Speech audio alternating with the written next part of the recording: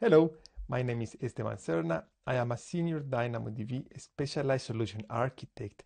And in these two videos, I'm going to present a series of techniques that you can apply when you design your next application that will use Amazon DynamoDB. It is called DynamoDB Immersion Day NoSQL Design Patterns. And this is the and this is the first video of the series. Welcome to the DynamoDB Immersion Day. NoSQL Designs Patterns. My name is Esteban Serna. I am a senior DynamoDB specialist solution architect, and I help customers optimize their data models. During this Immersion Day, we're going to discuss a few techniques that customers implement in their production workloads. In today's video, we're going to discuss the difference between SQL and NoSQL, the tenets or principles of NoSQL data modeling, and a lot of techniques that we can use for our our models. For example, artificial sharding and read and write workloads, how to work with complex queries and analytics, what about large items and how to use vertically partitioning, how to query nested JSONs, how to work with relational data model, and at the end, we're going to present a hands-on design challenge that we have available for you. Let's understand the difference between SQL and NoSQL. And First, can you tell me what are you seeing in this picture? If you said hard drives, you're totally right.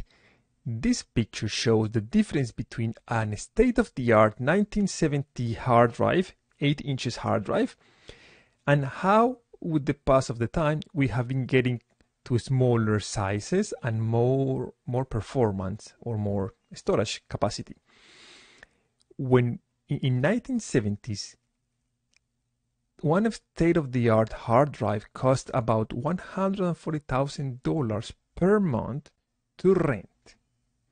So it was very expensive. If, if we translate that to today's money, it will be almost a million, a million two hundred dollars, two hundred thousand dollars, and uh, it will be very expensive. But you might be thinking, what does this has to do with uh, a NoSQL design discussion? And the explanation is when SQL was created, storage was very limited. So the assumption was do not repeat your data. If you're going to create a table about persons, put all the persons in there, another table for country, orders, and all the different entities or dimensions that we're seeing here on the left, because if you need to put them together and create relationships, use an SQL join, which is compute on top of a storage to get your data. With this approach, all the data is stored like a, in a tree structure, uh, and you can uh, experience parent-child relationships uh, with different tables. Now, NoSQL databases require a different mindset in comparison with relational data models. NoSQL database is on the right side. What we like to do is store the data as aggregate of information. You're seeing that we have the user ID as a partition key, but we have a, a bunch of elements under the sort key uh, collect together as an aggregation uh, on the user ID. So I could get a lot of data for this user ID and they are not distributed across different tables. NoSQL databases organize the data in the way that you're going to retrieve them. That's how you can achieve higher uh, efficiency. With DynamoDB, the high level entity that you work is a table, which is what I have here in the, in the screen. Inside the table, you will have what we call items. Each one of those items will, will contain attributes and they will have the data types like string, number, or binary. Behind the scenes, DynamoDB will store the information in partitions all items must have a partition key that will identify them uni uniquely. And you can use a optionally sort key. And together, when you put the partition key and the sort key, they, they form what we call a primary key. Only A1 is required a2 to A7 are optional. DynamoDB is schemaless. You don't have to store the same attributes for all of your items. You can choose whatever you want to store in the format that you would like. the primary key needs to be a unique identifier for your data, so you cannot duplicate your, your, your primary key. But as in the example that we saw earlier, you can have under the same partition key different sort keys, and that is how you can get data aggregates. When we compare SQL versus NoSQL designs patterns, with SQL you have different entities living in different tables, and when you want to get a relationship between them, you run an SQL join. SQL joins is a relatively expensive operation. The more joins you add, the more the complexity you have, as the data from each table needs to be staged and then asserted to get the information that you're requesting. And given the runtime complexity of SQL queries and joins, uh, the performance of relational database systems is not constant at scale. And what we're going to ask you is to, to try something different. Try the NoSQL approach. Data normalization reduce the amount of data stored in disk. However, one of the most constrained resources that impact performance are CPU time and network latency. DynamoDB is built to minimize both of these constraints by eliminating the need of joins and actually encouraging data denormalization and optimizing the database architecture to fully answer an application query within a single request to an item. These qualities enable DynamoDB to provide single-digit millisecond performance at any scale, as the runtime complexity for DynamoDB operations is constant. This is regardless of the data size for common access pattern. Let's focus on the tenets of NoSQL data modeling. The very first one is to define the use case. It is a different mentality, especially if you come from relational data modeling, because you really need to understand all your access patterns up front. With relational data model, you can start creating tables and then you can start adding more tables on the fly because you always have the join to connect the tables together. With NoSQL data model, we approach it in a different way. You need to know the questions that you need to answer and understand the business problems that your application will solve up front. This is absolutely essential. There are different ways that you can approach this situation. For example, for new applications, you can use the user stories in your sprint to understand what you need what data you need to your application needs to support.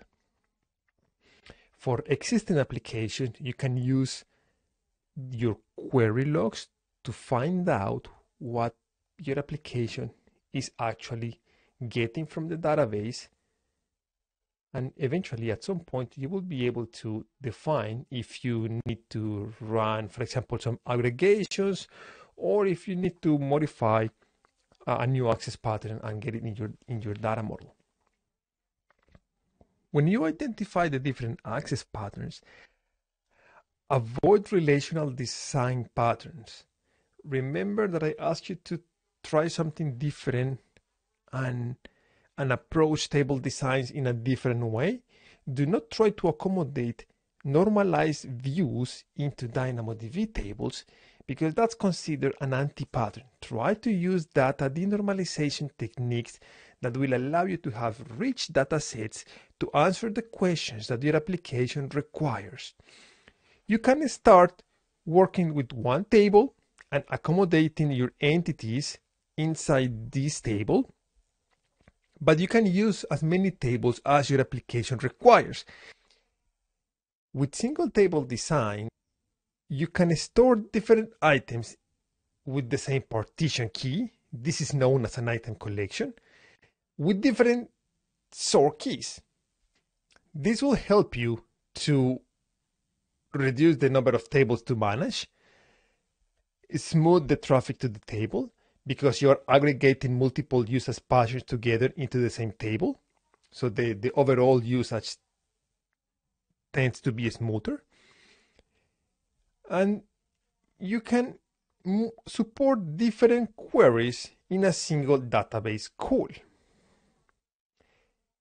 On the other side, multiple tables it is a, a, pattern that is more traditional from the data traditional database designs and it's easier to get your head around the first time you implemented it however when you use different when you use multiple tables you can very easily get into the trap of modeling SQL in NoSQL. If you need to query data across different tables, that means that your application will need to join the data and retrieve the results. That will be called an application level join, which is also considered an anti-pattern. Your application type is going to be OLTP or it's going to be OLAP type of application. We have 14 different database engines meant to feed the specific workloads. For example, ad hoc queries, data warehouses, data warehousing, and OLAP applications may benefit from RDBMS engines. On the other hand, web scale applications, including social networks for gaming, media sharing, Internet of Things, they commonly handle tens of hundreds of thousands of requests per second, and they will benefit from Amazon DynamoDB scaling and performance. In terms of data lifecycle, DynamoDB likes to work with hot data, meaning data that you will actually use in your queries. To give a very simple example, if you have one year's worth of data in your Amazon DynamoDB table, but your queries only ask for the last two weeks of data, you have 50 weeks in your database that you are not using, but you are going, you are paying the storage for of, for that data. DynamoDB allows you to set time to live rules per item that will eliminate that information from your DynamoDB table. And then you can use that event to store that information in something like S3, for example. You also have the option to create, to create on-demand backups for your Amazon DynamoDB tables. You can also enable continuous backups and using point-in-time recovery. At this point, you, you should be able to identify your primary key.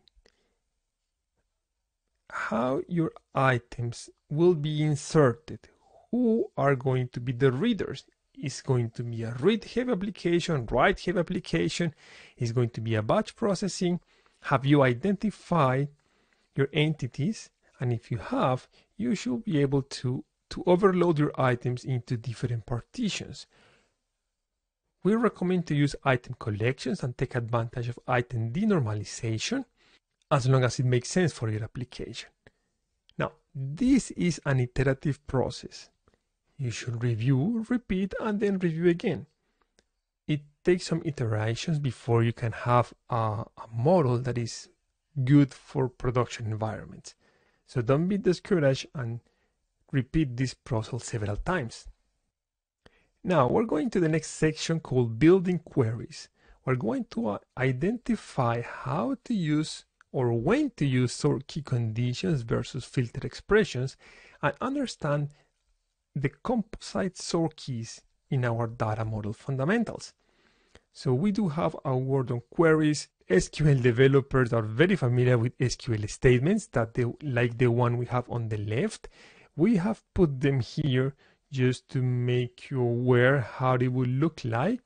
But the reality DynamoDB works with that REST API to perform all data operations. For example, the one that we see in the screen is the query API any other uh, API will, will look very similar. The method will be different.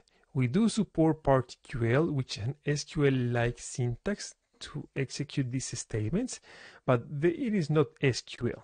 Let's, um, let's begin with the obvious. We are use REST API syntax. We don't use SQL. Query always requires an equals expression on the partition key.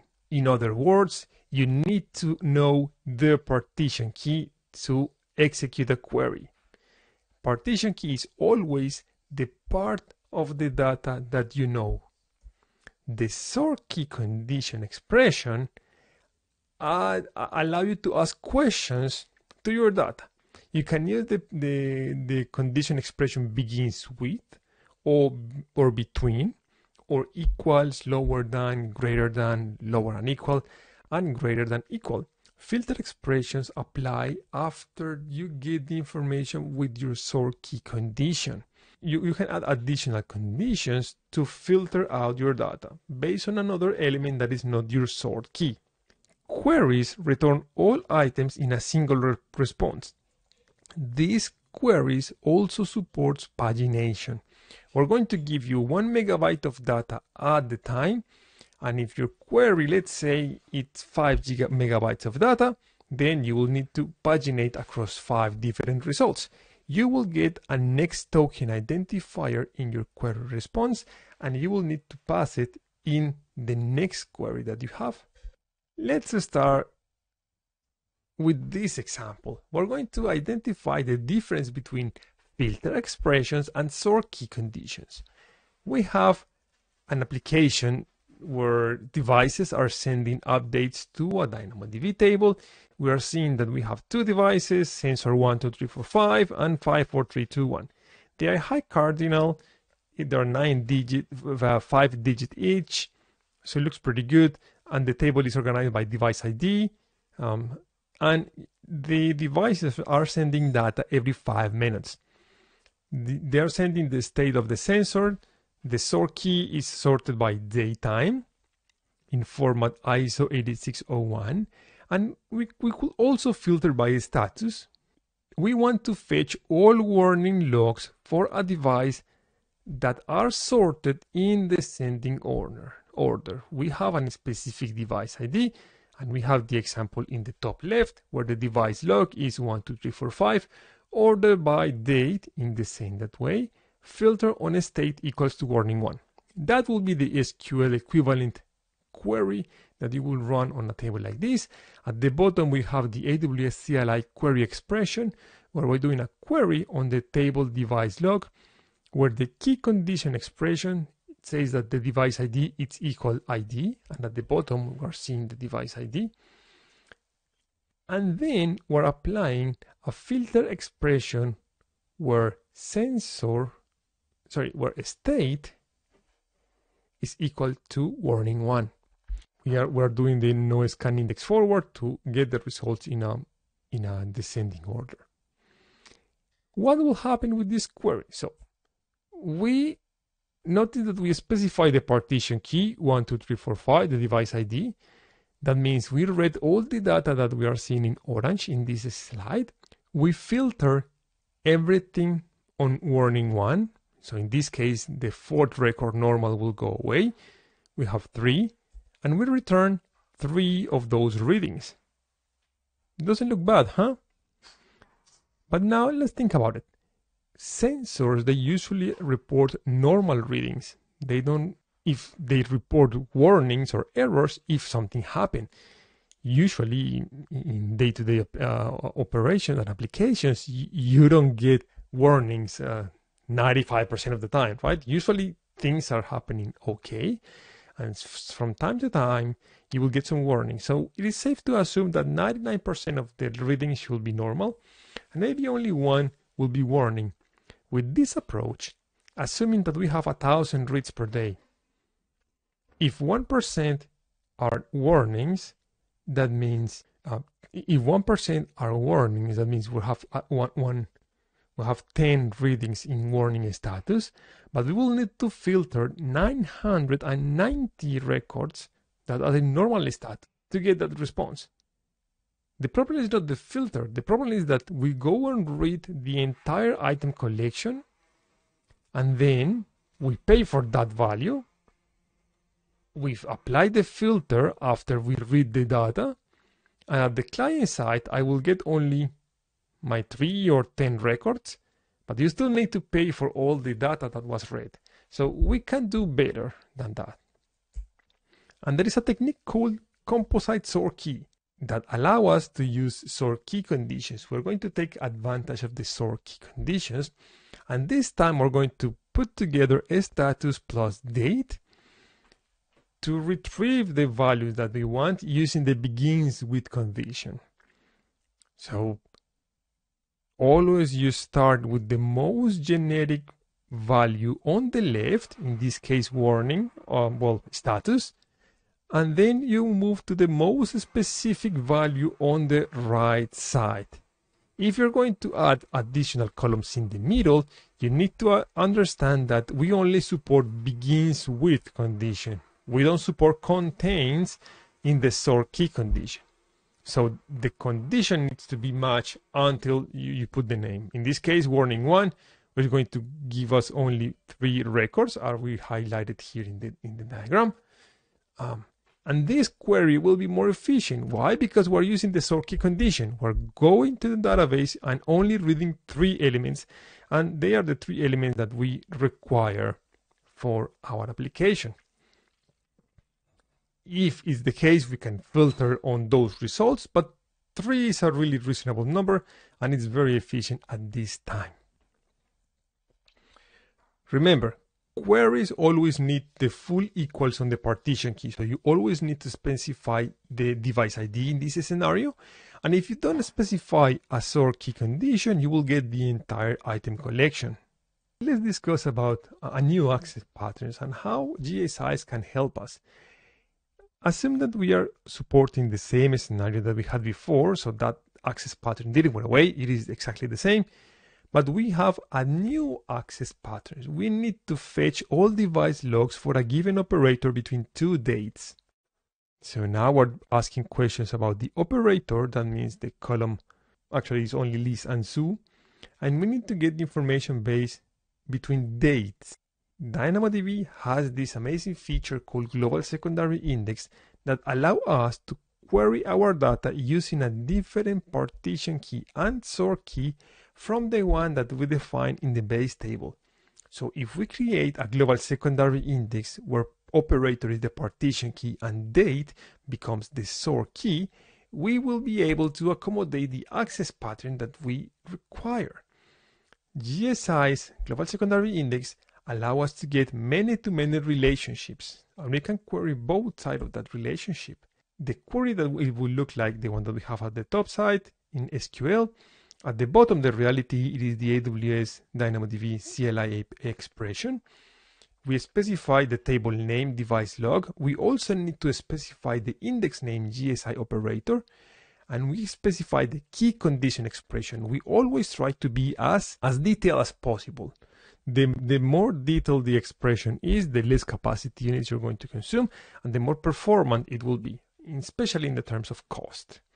Now, we want to get all the information from where the operator is leased between the 4th of April, the 20th of April 2020 and the 25th of April 2020 as well. And you will get these three results that we have in the screen. Now, what about this extreme scenario? There is one special characteristic that I love from GSIs. GSIs, they can add, they can be added and removed at any time.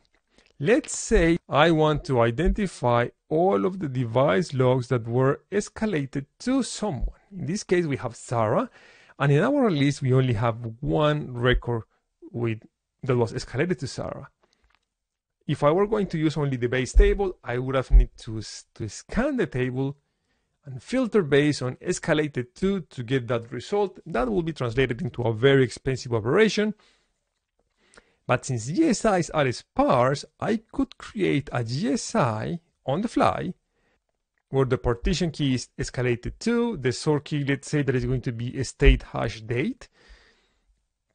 Since we only have one element on this GSI, because all the other attributes, all the other items don't have the attribute escalated to, this GSI will contain only one element. So that's why GSI, GSIs are sparse. Only items that match the GSI primary key are copied into the GSI. This can be used for very efficient indexing of select items. And in this scenario, we can just scan the GSI supervisor because we know that it's only going to contain a few elements. This scenario is really good for these needle in the haystack uh, situations. It is also a cost-effective scan given a, given a certain condition and it works very well for item management. On the takeaways on this section, always build targeted queries using composite keys. Try to be as specific as you can. Start with sort key conditions, and then you supplement with filter expressions. Eventually, if the access pattern is required, use GSIs to address different access patterns. If the if the access pattern use a different partition key and sort key from the one in the base table, create a GSI to access that information. Let's take a different view of data modeling challenges. Artificial sharding, or also called write sharding, highlights the challenges with NoSQL data models and interesting solutions to accessing items. The partition key portion of a table's primary key determines the logical partition in which a table's data is stored. This, in turn, affects the underlying physical partition where this data will be held. A partition key design that doesn't distribute I.O. requests effectively can create something that we call internally hot partitions, and that results in throttling and use your provision I.O. capacity very inefficiently. The optimal usage of a table's provision throughput depends not only on the workload patterns of individual items, but also on the partition key designs. If you design a very low cardinality partition key or primary key now in this scenario, you will basically will create hot partitions. Each virtual partition supports up to a thousand write capacity units and 3000 read capacity units. Let's go through this example. We have this voting scenario where it's election day.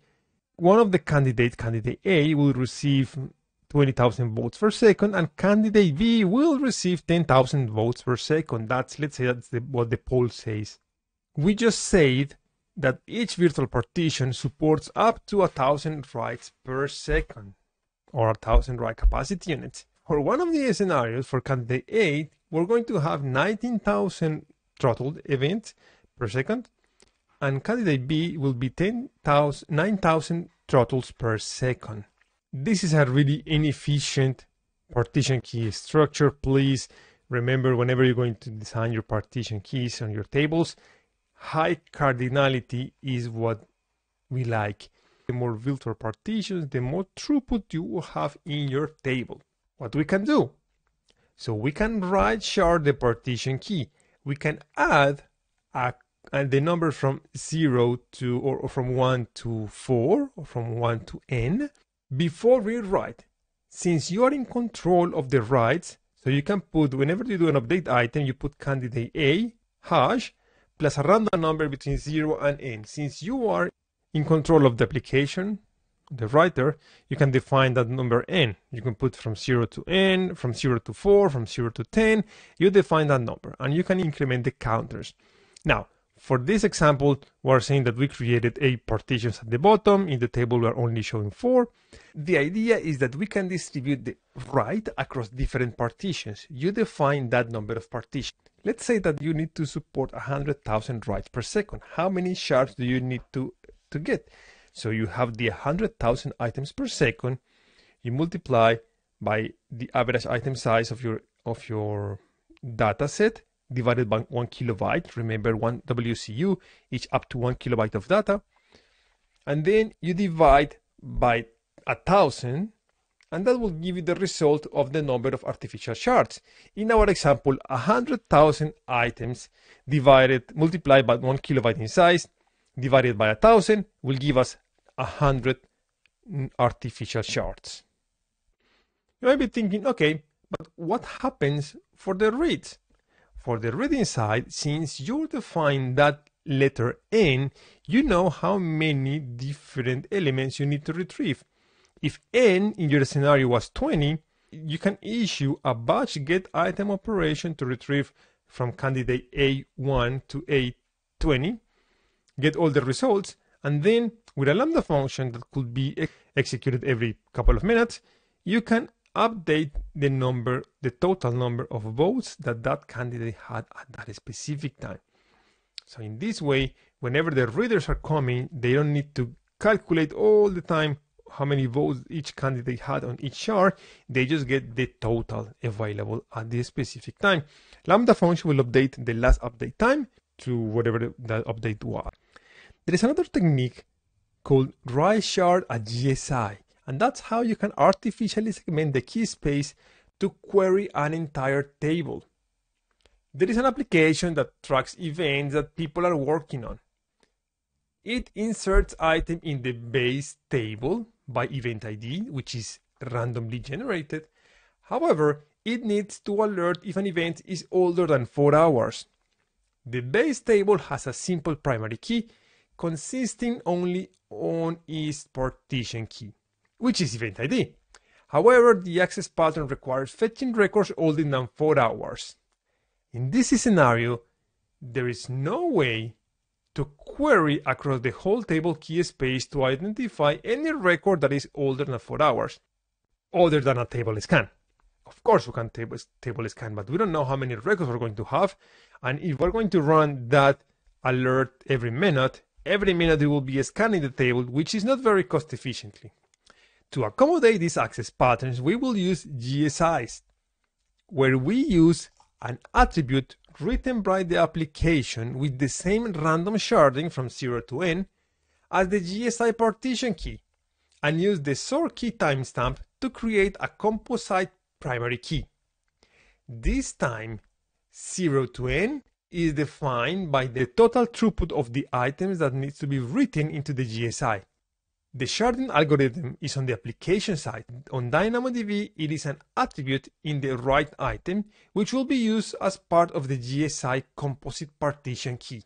Since we didn't know anything about the events that were generated, with the random number, if we create something from 0 to 4, 4 shards, for example, or 5 shards, we are putting a known value in our GSI. So that number from 1, 2, 3, 4, and 5 becomes the the data that we know.